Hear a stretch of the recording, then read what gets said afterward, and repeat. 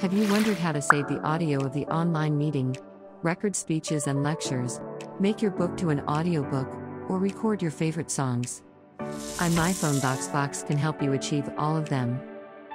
With the function of recording and audio editing, high quality output technology, your recording can be output perfectly, completely secure and encrypted.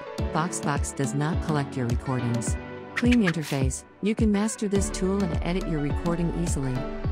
And now, we will show you how to record audio with iMyFone VoxBox. Step 1.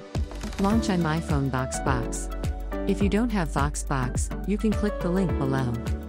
Step 2. Go to Voice Record and choose the audio. You can choose headphone, speaker, or virtual device. And export your recorded audio to MP3, AAC, or WAV. Step 3. Click the button to start recording your voice. Press stop to end the recording. Step 4. Edit the audio. You can cut the audio and export the selected clip.